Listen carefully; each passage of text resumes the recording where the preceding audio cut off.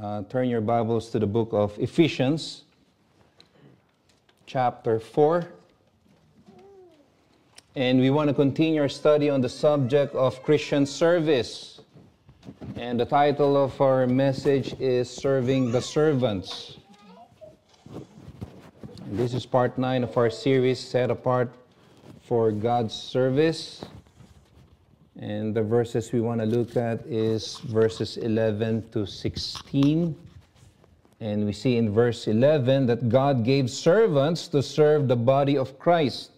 Ephesians 4, verse 11, it says there, And he gave some as apostles, and some as prophets, and some as evangelists, and some as pastors and teachers. These are servants serving the servant. Uh, for today, I want to read the whole chapter to give us the context. I want you to see the, uh, the inseparable duty of character in service as we read the whole chapter. Okay, so please stand and let's read beginning in verse 1. Ephesians 4, verse 1. Therefore, the prisoner of the Lord, I, the prisoner of the Lord, implore you to walk in a manner worthy of, of the calling with which you have been called, with all humility and gentleness, with patience, showing tolerance for one another in love, being diligent to preserve the unity of the Spirit in the bond of peace. There is one body and one Spirit, just as also you were called in one hope of your calling, one Lord, one faith, one baptism, one God and Father of all, who is over all and through all and in all. But to each one of us grace was given according to the measure of Christ's gift. Therefore it says, when he ascended on high, he led captive a host of captives and he gave gifts to men. Now, this expression, he ascended, what does it mean except that he also had descended into the lower parts of the earth? He who descended is himself also he who ascended far above all the heavens so that he might fill all things. And he gave some as prophets, or sorry, as apostles, and some as prophets, and some as evangelists, and some as pastors and teachers for the equipping of the saints for the work of service, to the building up of the body of Christ, until we all attain to the unity of the faith and of the knowledge of the Son of God, to a mature man, to the measure of the stature which belongs to the fullness of Christ. And as a result, we are no longer to be children, tossed here and there by waves and carried out about by every wind of doctrine, by the trickery of men, by craftiness and deceitful scheming. But speaking the truth in love, we are to grow up in all aspects into Him who is the head, even Christ, from whom the whole body, being fitted and held together by what every joint supplies, according to the proper working of each individual part causes the growth of the body for the building up of itself in love. Verse 17 So this I say, and affirm together with the Lord that you walk no longer just as the Gentiles also walk in the futility of their mind, being darkened in their understanding, excluded from the life of God because of the ignorance that is in them, because of the hardness of their heart and they, having become callous, have given themselves over to sensuality for the practice of every kind of impurity with greediness. Look at verse 20. But you did not learn Christ in this way, if indeed you have heard him and have been taught in him, just as truth is in Jesus. That in, in reference to your former manner of life, you lay aside the old self, which is being corrupted in uh, in accordance with the lust of deceit, and they and that you be renewed in the spirit of your mind and put on the new self which in the likeness of God has has been created in righteousness and holiness of the truth. Therefore laying aside falsehood speaking truth each one of you with his neighbor for we are members of one another be angry and yet do not sin do not let the sun go down on your anger, and do not give the devil an opportunity. And he who steals must steal no longer, but rather he must labor, performing with his own hands what is good so that he will have something to share with one has, who has need. Let no unwholesome word proceed from your mouth, but only such a word as is good for edification according to the need of the moment, so that it will give grace to those who hear. Do not grieve the Holy Spirit of God, by whom you were sealed for the day of redemption. And let all bitterness and wrath and anger and um, clamor and slander be put away from you, along with all malice. Be kind to one another, tender-hearted, forgiving each other, just as God in Christ also has forgiven you. You may now take your seat. You know, just by the plain reading of this chapter, we see the emphasis on Christian character and service. Is it not? Apostle Paul, a servant of the Lord, is serving the church remotely. He is in prison for preaching the gospel. He serves in suffering. As we said last week, we don't resign our role when, in, when times are difficult. But we embrace the challenges in our Christian walk as God's will. He said there in verse 1 he was a, a prisoner of the Lord. He's not a prisoner of any man. He's not a prisoner of his circumstances. He's prisoner of the Lord. Suffering for the Lord is part of the Christian service. And the book of Ephesians is one of the prison letters of Paul, as you know, together with the book of Philippians and Colossians and Philemon. And his style of writing has two basic parts, right? It has two basic parts. That's the style of his writing. There's doctrine and, and duty, what the church needs to know and what the church needs to do. In Ephesians chapters 1 to 3, that's doctrine. In chapters 4 to 6, that's duty. And we find ourselves in chapter 4, which is what? Duty, right? Paul begins to talk about how we walk as Christians Christian living is a duty. It is a duty. Godliness is a duty. Duty demands hard work. Moral excellence is hard work. Right? You need, if, if you want to be godly, you need to work hard for it. It is a duty. Virtue doesn't come naturally, it doesn't happen to passive people. It requires what? Diligence, work out your salvation with fear and trembling. Paul said, I beat my body and make it my slave. And this is what Paul wants for a Christian. He said in verse 1 Therefore, I, the prisoner of the Lord, implore you to walk in a manner worthy of the calling. And whenever we see the word calling, Whenever you see the word called in the New Testament, it always means the effectual call of God. That is the inward call of the Holy Spirit in salvation, bringing you from dead into life. That's the calling of the Holy Spirit, the inward calling, when God called you out of darkness into His kingdom, into the light. In other words, what Paul is saying here is we need to walk in a manner worthy of our salvation. Walk means what? It means lifestyle. Walk means the condition of life on how we live. Walk means habits. Walk means practice, what you do, where you go, and how you make decisions in life.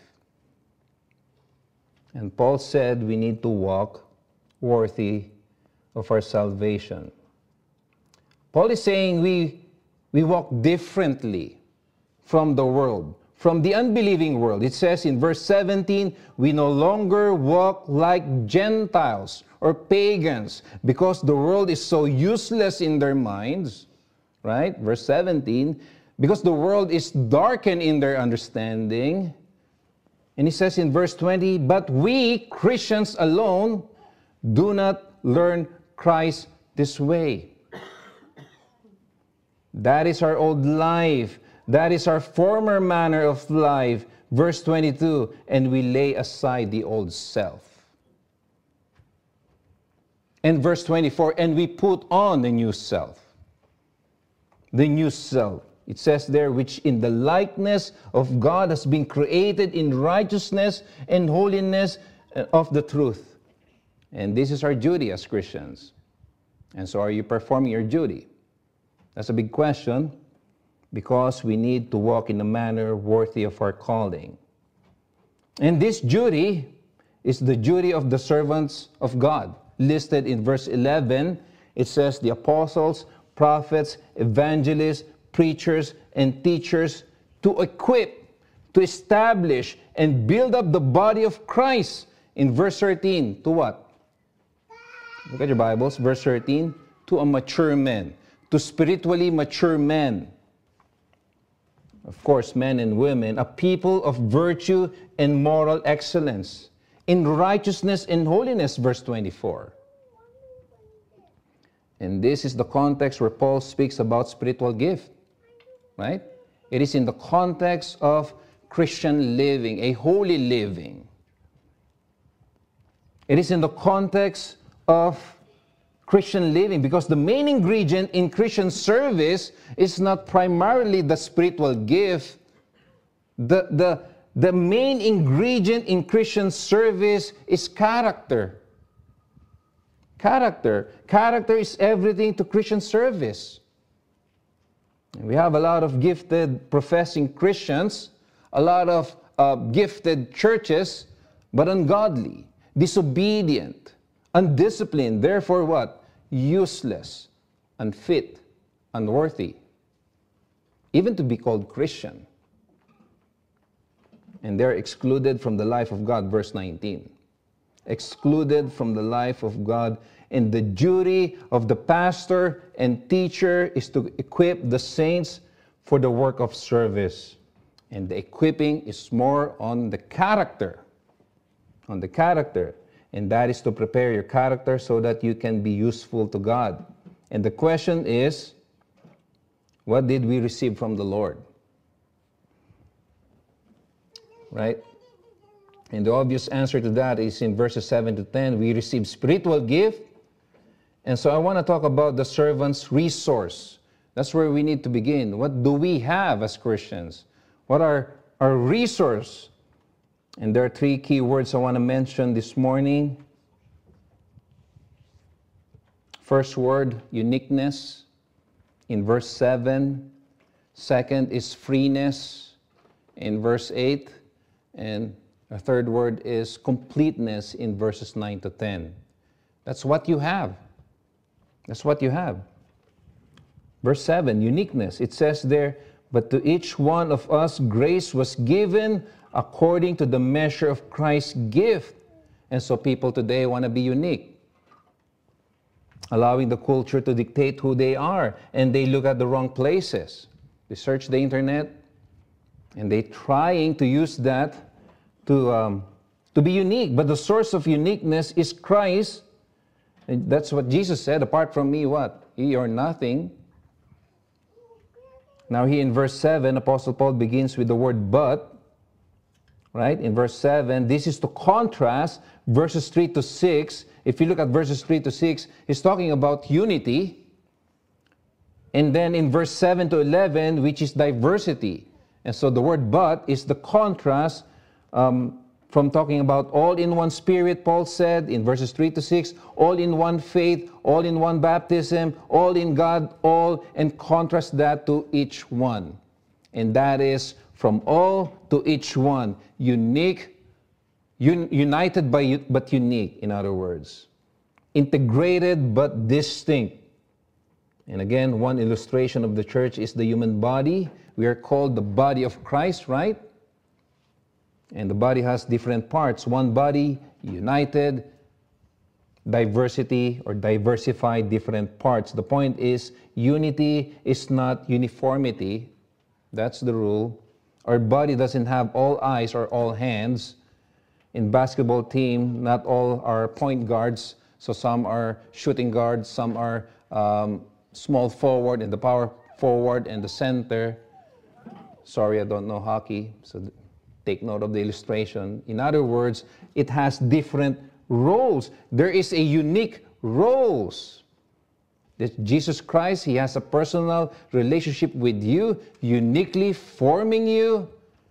And then when we gather as a church, it results in a unique body of believers. As the Lord builds you individually, transforming you, building you up, sanctifying you, and when we gather, we are a unique body of believers. He builds His church, He builds through your spiritual gifts, your unique spiritual gifts. And so, if you think about it, listen, the feature and the characteristics of this church, the quality, the hallmark, the trait of this church is based upon the individual character, quality, and traits and hallmark of each one. And so, therefore, a worldly individual will produce a worldly church. A shallow individual produces a shallow church. A spiritually weak individual, when we gather, and if we are all weak, we're not you know, living in the manner worthy of our calling, we're not disciplining our body, and when we gather, we're all superficial, hypocrites, weak Christians. We're not even worthy to be called Christian if that is the case, right? But holy, strong, mature, serious in God, in individual believers, if you're holy and serious, strong, it produces a healthy church. And spirit gifted, unique individuals will dictate on how this church will, will go. And so basically, how we live our lives individually will dictate on how this church will, will go. Sadly, many professing Christians look for uh, programs and, and activities and who has the best ministry, who has the most crowd, right? Who will give me experience and fun. That's not a mark of a unique church. To be honest with you, that's common. That's ordinary. That is so so. Nothing special in there. That's what everybody's doing. There's nothing special. What we want, folks, is to live a life worthy of our calling. Christian, walking in a manner worthy of their salvation and employing your spiritually unique gift. That's what we need to do. Now we see in verse 7 the word grace. It says there, each one received this grace, and this tells us the nature of God. Why? Because by nature, He is what? A giver. He freely gives. It doesn't depend on us. It doesn't depend on who we are. He's gracious because of who He is. He is gracious. And if you look at verse 7 again, it says, This grace was given to each one according to the measure of Christ's gift. In other words, I have what you don't have, and you have what I don't have. Each one is unique, but we all don't deserve it. That's the point. We didn't earn it, it is undeserved, it is unearned, it is unmerited no credit of our own. Grace depends entirely on the giver, Jesus Christ. And so we ask, how am I unique? And what makes you unique? Meaning your spiritual gift. And look at verse 7. It says there, measure of Christ's gift. The word measure will help us understand this. So, what makes each believer unique? First of all, the measure of spiritual gift the measure of spiritual gift. Spiritual gifts are not determined by personal preferences. It's not decided by personal consideration. It's not merited. It's not governed by your personal inclination. It's not decided by natural abilities or skills. One Bible teacher said, We have no more to do with determining our gift than we did with determining what color of skin, hair, or eyes we would be born with. We don't determine that. God is the source of electing grace, equipping grace, and enabling, enabling grace. You are unique according to God's plan. What spiritual gift He gave you. It's according to His purpose, according to His measure. And so we need to understand that we don't decide that. We don't. What you have is decided by God. Second, what makes a believer unique is the measure of grace. Grace is given according to the measure of Christ's gift. Verse 7 He gave us the exact proportion of enabling grace. As grace enables you and makes you willing in regeneration, we need to remember that it is God's grace that enables you to come to Him, to place your faith in Him. It is the grace of God. It is also the grace of God enables you to serve Him. Grace makes you willing. In other words, grace makes you eager to serve. You're saved by grace and you serve by grace, and all about you is God's grace. You receive what you don't deserve, and that cultivates a thankful attitude because you don't deserve it. That cultivates a, a blessed attitude. And the people that are grateful, the people, the people that are blessed, what will happen? They serve. They're willing to serve. And God gave each one of us a proportion of that grace, that enabling grace, uniquely and exact grace we need to serve Him. In other words, you need to listen to this. You and I cannot go so far as God enables us by His grace. God gave you a measure and you don't try to go above that. Why? Because you don't have the grace beyond that. That's why Paul in Romans 12 he said, Do not overestimate and underestimate yourself. We cannot go as so far or beyond that God enables us by His grace. And so that is unique, right? Because He gives us a measure of that grace. Some of us will go very far, like very big ministry, whatever that is, or some of us will just be in a, in a small uh, ministry. And you don't try to, you know, be um, covetous and be jealous with others, probably because we don't have that grace. And that is unique for you. Third, he gave you a measure of faith. If you go back to Romans 12, verse 3, it says there, God has allotted to each a measure of faith. And in verse 6, he said, Since we have gifts that differ according to, to the grace given to us, we have this measure of faith. And that faith is not a faith in salvation, but enacting faith. That is what energizes us. That faith, our spiritual gift is depending on that faith so that we are confident in serving God, providing us energy to uh, serve Him, and providing us confidence to employ that spiritual gift. And He gave you a measure of that faith. And He gave us different measure of faith, different confidence different energy. It is unique capability, unique purpose, unique parameters, and, and so listen, no church programs can replace spiritual gifts because that is unique. Therefore, if we're not serving, we're not utilizing the spiritual gift we have, we're somehow rejecting what? God's grace in our lives.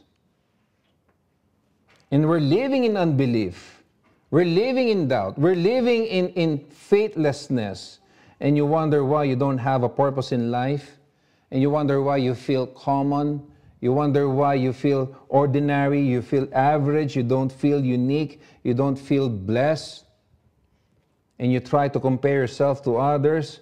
Can, can I ask you today? What makes you unique? What makes this church different from others? Is it denomination? Is it programs? Is it activity? What, what, what really makes this church differently? Try to ask that. Again, it depends on how we walk and it depends on how we use our unique spiritual gifts. We're all unique in that sense. Listen, John MacArthur said, We never get the wrong gift or too much or too little of it. When the Holy Spirit gave us our gift, He presented us with precisely the right blend of abilities and enablement we need to serve God. Not only does our unique giftedness makes us a irreplaceable member of Christ's body, no one can replace you, but it is a mark of God's great love to single each of us out of for us out for unique blessing and ministry. And then he said, not to use our gift is, a, is an insult to God's wisdom, a rebuff of his love and grace, and a loss to his church. He said, We didn't determine our gift, nor deserve it, or earn it. But we all have a gift from the Lord, and if we do not use it, he said, his work is weakened and his heart is grieved. And so you want to grieve the Holy Spirit? Just don't serve. Don't go to church. You don't have to commit this deviant sin to grieve the Holy Spirit. Just stop serving and you grieve the Holy Spirit. Just don't go to church and you grieve the Holy Spirit. And so, folks, each of us is unique in how the Lord gives us grace and faith. He gave you spiritual gift that I don't have. And so we need to understand that the, uh, the importance of that. If you're not here, no one can replace you.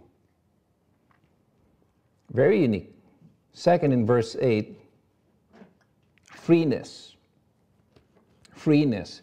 It says in verse 8, Therefore it says, When he ascended on high, he led captive a host of captives, and he gave gifts to men. In other words, your resource is not only unique, but free. It is free for us, but not for Christ. That's the picture. He paid for it. He fought the battle for us. And here we see Paul is using a quotation from Psalm 68. Uh, so turn your Bibles to Psalm 68 in verse 18. Paul is giving us an analogy here in the Psalm of David in Psalm 68, verse 18. Why? Because this is a hymn of victory. David composed this to celebrate God's victory.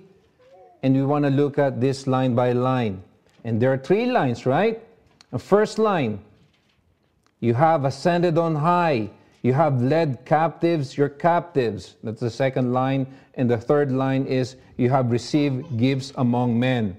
First line, when he ascended on high. What do we mean by that? The word ascend on, on high depicts the, the victorious Lord Jesus Christ returning from battle on earth. You know, this is the idea, so you need to use your imagination here. There's a celebration parading and celebrating. So that's the first line. And the second line here is he led a captive, a host of captives. Again, your imagination, this gives us a picture of we were once prisoners of the enemy, but now are returned to God, returned to the people to whom they belong. And so in the parade, in the celebration, there are those who were being captive by the enemy, and now they are now rescued, and they're part of that parade and people are cheering. That's the second line. In Colossians 2:15, when he had disarmed the rulers and authority, he made a public display of them, having triumph over them through him. And we were once prisoners of Satan, right? We were once prisoners of our sin. We are tortured by our sin hidden in darkness, and by Christ's death and resurrection, we are set free from that bondage of sin and the dominion of Satan, and now we belong to Christ. And so the picture there is Christ, the King, the Lord, rescued us.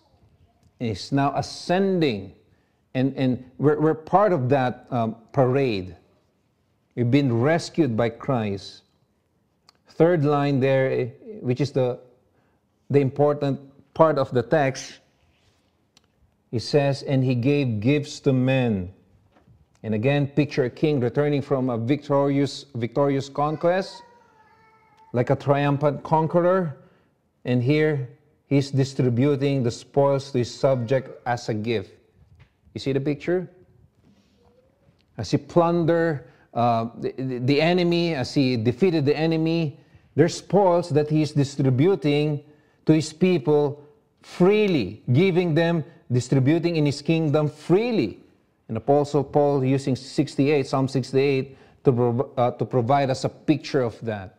And so technically what's going on here is our spiritual gifts after Christ's death and resurrection, when he ascends to heaven, if you turn your Bibles to Acts chapter 1, verse 18, it says, But you will receive power when the Holy Spirit has come upon you. And so when Christ returned to heaven, he distributed the spiritual gifts to us, to his church. And that's the picture. It's free. We didn't earn it again. It was earned by Christ, his victorious effort, but we receive it freely. And so we need to have a warning. Since spiritual gift is entirely free, since not all of us receive the same measure, different spoils that we receive, okay? Get the picture. Some of us receive a very special gift, and some of us uh, receive not so very special gift. And so there's a twofold danger here that we need to avoid. First, those who receive a very special gift, you might take the credit, so you don't want to do that, and use that very special gift for your selfish ambition. You don't want to do that. And, and uh, fail to serve the church. You get that? Since God gave you this very special gift, don't take the credit, don't use it for your selfish ambition. Second, those who receive not so very special gift, you might get discouraged and not use your spiritual gift. Oh, if I can just be an eye, I'm just a foot.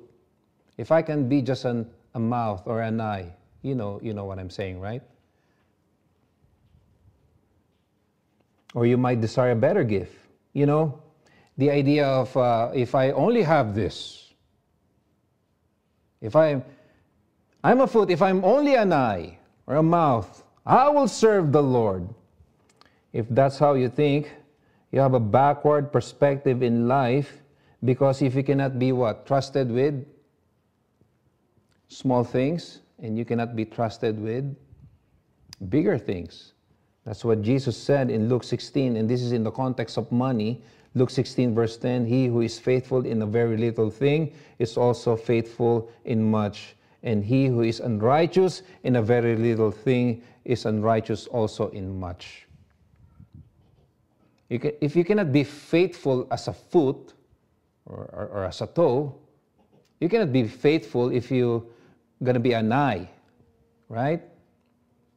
If you don't want to serve because you have this little gift, you will not serve even if you have a very special gift.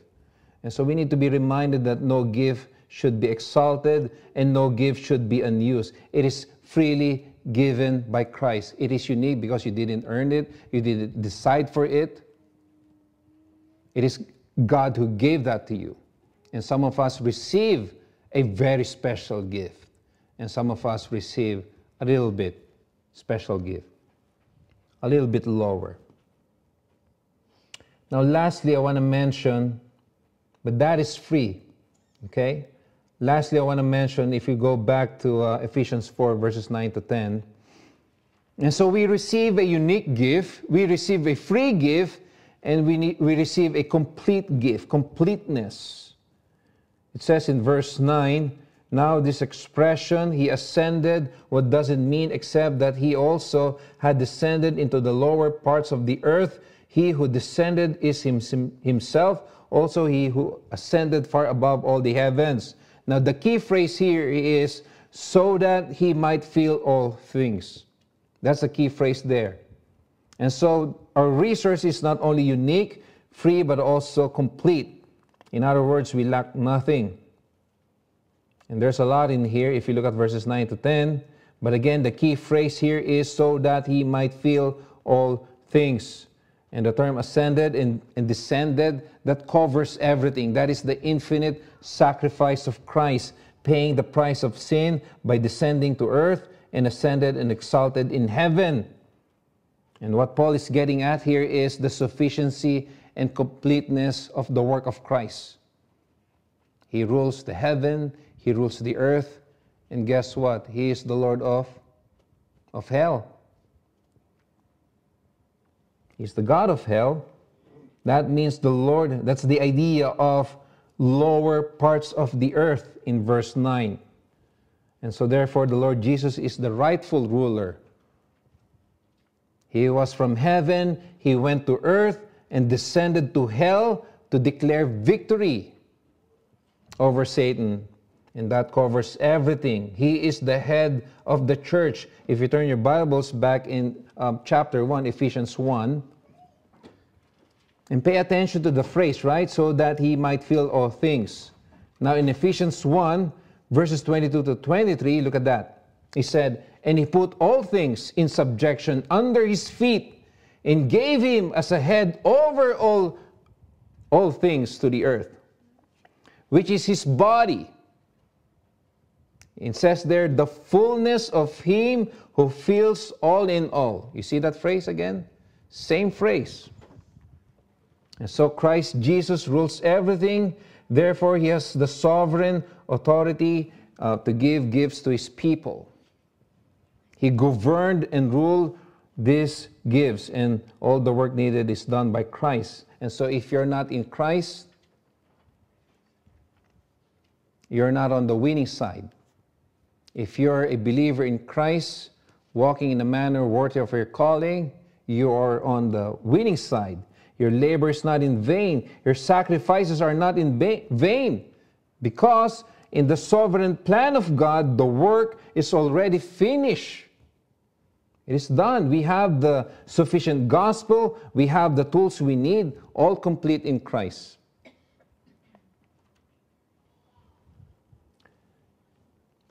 And this is what Paul said to the Ephesian church. If you can turn your Bibles to Acts 20, verse 24 we want to end here. And so Paul served this church, Ephesian church, for three years. Okay? And we want to give him the last words. And here Paul is giving his uh, farewell to this church that he faithfully served for three years. Look at verse 24, Acts 20, verse 24. He said, but I do not consider my life of any account as dear to myself. He said, so that I may finish my course in the ministry which I received from the Lord Jesus to testify solemnly of the gospel of the grace of God. And I hope you see that Paul here saying to the Ephesians church, the sacrifices he made doesn't really compare to the surpassing glory and work that Christ entrusted to him. Only a man who knows the unique purpose in life, the freeness of grace, and the completeness of the work of Christ can confidently say this, meaning Paul in verse 24. And I pray that all of us this morning can finish the course and the ministry which we received from Christ Jesus. And so all of us have this work. He saved you, and we have this duty to serve Him. He gave you a unique gift, a free gift, complete. And you can use that to glorify God and be part of a church and serve Him. That is really crucial if you look at our lives as Christians. And let me take note again that what is important is character. It is more important than spiritual gifts. If you can turn with me in 1 Corinthians 13.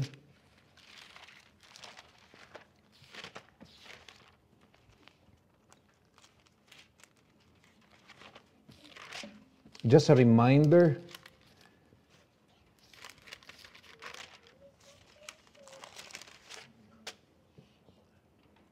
right there in verse 1, it's clear. Character trumps spiritual gifts. Paul said, If I speak with the tongues of men and of angels, but do not have love, I have become a no- noisy gong or clanging cymbal.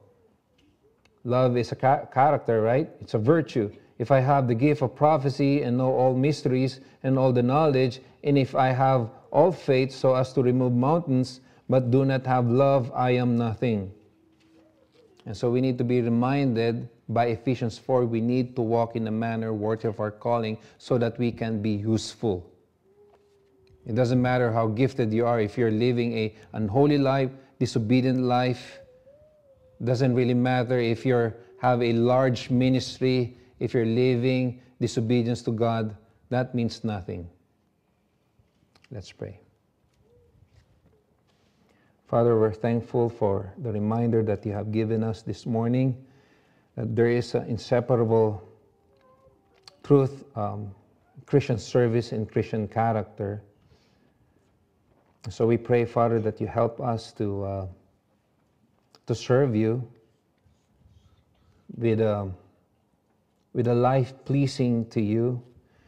We've been uh, battered by many kinds of influences, especially here in our community. Uh, Lord, help us, protect us from these um, evil influences, and help us, oh God, to be accountable to one another, reminding one another admonishing one another, helping, helping one another, teaching one another. So we pray, Lord, that we need your church as a place wherein we can correct and rebuke and teach and exhort a, a, a Christian and comfort a Christian when, when times are difficult and Christian who are persecuted in the workplace, even in the home. May you use this church, Lord, to be a place of comfort. We give you thanks in Christ's name. Amen.